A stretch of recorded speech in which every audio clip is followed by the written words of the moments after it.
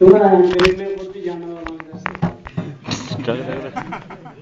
यहाँ से मैं आप लोगों से मदद भी करूँगा हो सकता है मुझसे कोई ऐसी वैसी गलती हो। सकता हूँ सबसे मैं माफ़ी माँगता हूँ। दूसरा ये गाना